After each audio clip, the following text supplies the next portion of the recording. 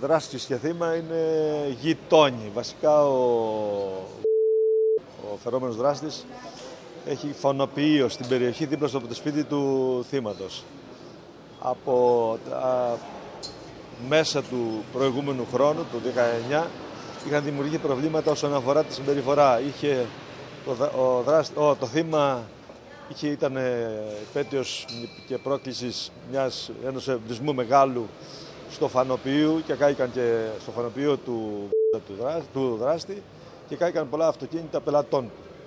Από τότε μέχρι σήμερα, ε, μέχρι τελευταία βασικά, το θύμα προκαλούσε με διάφορες συμπεριφορές του, με όπλα, με ξύλα, έσπαγε αυτοκίνητα, είχε πολλές φορές ε, ε, επιτεθεί στην οικογένεια του δράστη και τελικά ήταν μια αφόρητη κατάσταση. Μάλιστα είχαμε προσφύγει και στα δικαστήρια, ο δηλαδή ο δράστης, προκειμένου να μην πλησιάζει και το φανοποιείο το θύμα, αλλά και την οικογένειά του και το σπίτι του.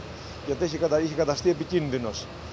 Ε, προσφύγαμε και στα πολιτικά δικαστήρια. Τα δικαστήρια με ασφαλιστικά μέτρα τον υποχρέωσαν να μην ξαναπλησιάσει και την επιχείρηση φανοποιείο του φερόμενου δράστη, του δηλαδή, αλλά και το σπίτι του.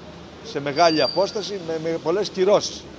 Δυστυχώς δεν έχει ολοκληρωθεί η, η ανάκριση και η προανάκριση και μάλιστα χθες το βράδυ, τις βραδινές ώρες, ε, ενημερώθηκε από το σύστημα ασφαλείας που έχει ο, ότι είχε μπει μέσα στο φανοποιείο κάποιος. Ε, προσήλθε εκεί και από ό,τι ξέρω εκεί πλέον επιτέθηκε το θύμα με οπλισμό, με διάφορα γιατί είχε καταστρέψει και πολλά αυτοκίνητα και εκεί μέσα στα πλαίσια της άμυνας προφανώς έγινε αυτό που έγινε. Αλλά δεν έχει ολοκληρωθεί η δικογραφία να σας πω τα περαιτέρω.